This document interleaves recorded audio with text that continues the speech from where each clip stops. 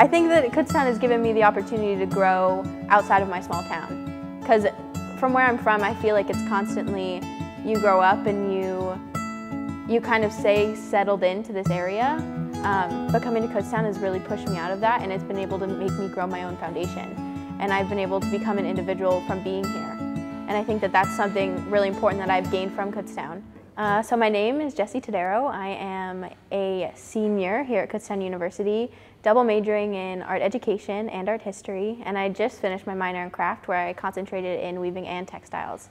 So I'm from Pine Grove, Pennsylvania, which is in Schuylkill County, a very small town. My high school art teacher, she actually graduated from here. So I was talking to her and she said, you know, you'd be really great working with kids and you love art, so why don't you throw those two together? And Kutztown is known for the art education program and the art program in general. So I said, you know what, I'll try and I'll apply.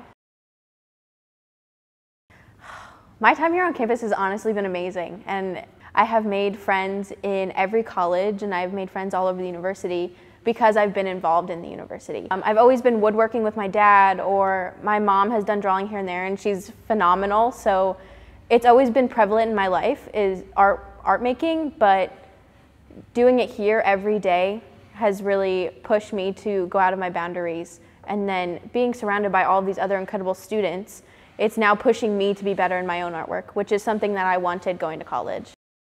Um, I'm part of NAEA, which is National Art Education Association, and the kids used to come into our classrooms and we used to work with them. And this kid was crying because he messed up so much on his painting and his drawing, and, and he didn't know what to do, and he was just getting really emotional about it. And I said to him, "You want to see a magic trick, right?" And he, he was like, "What are you talking about?"